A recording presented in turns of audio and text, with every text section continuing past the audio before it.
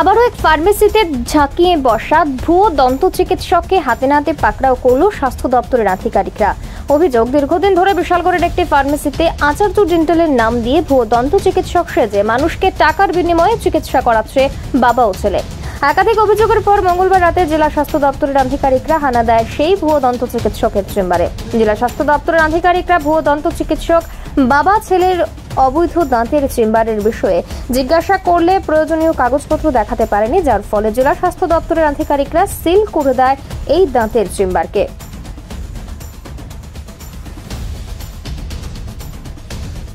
আমরা এখানে এসেছি কারণ আমাদের একটা আমরা কমপ্লেন পেয়েছি যে বেআইনিভাবে। এখানে নাকি একজন ডাক্তার আছেন দাঁতের doctor dentist without any certificate উনি নাকি এখানে প্র্যাকটিস করছেন। সেটার জন্যই আমরা এই কমপ্লেনটা পেয়ে ইনভেস্টিগেশন করার জন্য আমরা এখানে এসেছি। স্যার এসে কি কোনো ধরনের প্রমাণ পেয়েছেন? মানে তিনি যে চিকিৎসা করছেন এখানে? এখানে আমরা আসার পর দেখলাম ডাক্তারবাবু তো এখানে যে যে ডাক্তারবাবুর কথা বলা হয়েছিল উনি তো এখানে নেই আমরা পাইনি।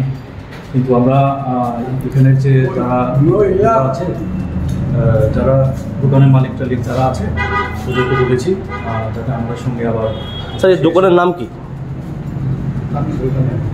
আমার নাম মজা আছে। আপনি আপনি মা দুর্গা মেডিকেল আচ্ছা এখানে যতন বলে একজন লোক আপনার সামনে দাঁড়িয়ে ছিল আপনাদের কাছে ভিডিও ডেক উনি কাছে উনি সেই চেয়ারে বসে চিকিৎসা করছে। ওনার কি কোনো ধরনের পারমিশন আছে সেখানে বা কাগজপত্র বা উনি কোর্স করেছেন? তাহলে তাহলে তাহলে উনি যে মানে বেআইনিভাবে এখানে চিকিৎসা করেছে তাদের মানে তার বিরুদ্ধে আপনি কি আপনার কি ধরনের ব্যবস্থা নিয়েছেন? সেটার জন্য তো আমরা ইয়ে থাকি পানিশমেন্ট তো থাকেই।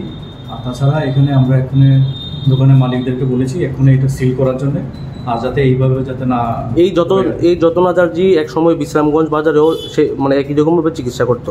আচ্ছা। তো এর আগেও ধরা পড়েছিল। তারপরও এবার আবার বিশালগড় বাজারে বসে কীভাবে করছে? আপনারা কি কি বলবেন? ঠিক আছে আমরা দেখব সেটার জন্য কীভাবে পানিশমেন্ট বা কিছু থাকে। সেটার জন্য আমরা স্যার কোনো ওষুধের দোকানে কি এরকমভাবে দাঁত- দাঁত- দাঁতের চিকিৎসা করানো যায়? চেম্বার খোলা নিয়ম আছে? তাহলে সেখানে তো ওষুধের দোকানের পেছনেই সেই চেম্বার।